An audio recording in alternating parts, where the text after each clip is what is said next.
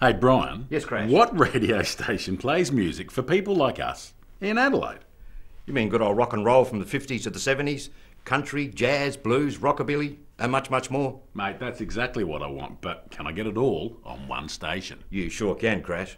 What about sport? Ah, got that covered too. You mean real people, real music? I certainly do. Who?